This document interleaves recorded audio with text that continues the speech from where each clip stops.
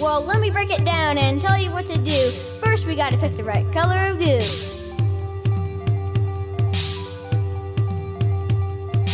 Orange grape and cherry goo. So after the goo, you pick ingredient two.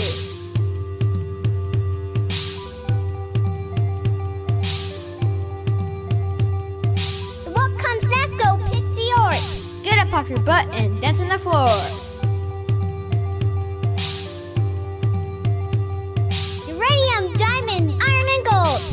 Up your butt and do what you're told.